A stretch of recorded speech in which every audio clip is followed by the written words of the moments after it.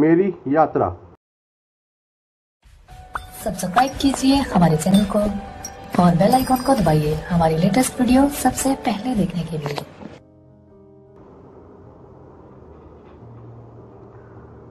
छुट्टी में हम सब घूमने जाते हैं। हम हर बार नाना नानी के घर जाते हैं लेकिन इस बार हम हरिद्वार की तीर्थ यात्रा पर गए थे। यह यात्रा हमने ट्रेन से की। हमने वहाँ पर खूब मस्ती की। मेरे परिवार में पापा, मम्मी दादा दादी और बड़ी दीदी हैं। हरिद्वार में हमारे गुरु जी का आश्रम है।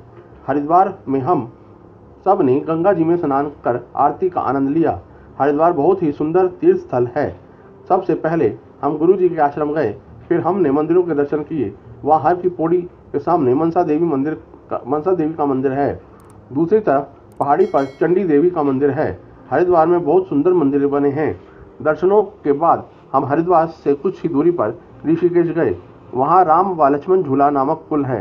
यह पुल गंगा नदी पर बने हैं। पहाड़ों के बीच बहती गंगा नदी का दर्शन बड़ा मनोरम प्रतीत होता है। यहाँ से खूब बड़े बड़े पहाड़ दिखते हैं। हरिद्वार में पवित्र गंगा नदी पर हमने मस्ती की। मुझे वहाँ नई नई जानकारी मिली। हरिद्वार में दूर दूर से श्रद्धालु दर्शन के लिए आते हैं। यहाँ पर हर बारह साल में कुंभ का मेला लगता है। कुंभ के मेले में बहुत से साधु संत आते हैं।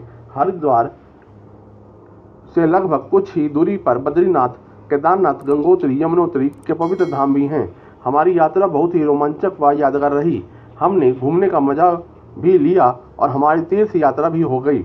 यहाँ हमें प्राकृतिक की सुंदरता देखने को मिली। अब अगली गर्मियों में हम चार धाम की यात्रा पर जाएँगे।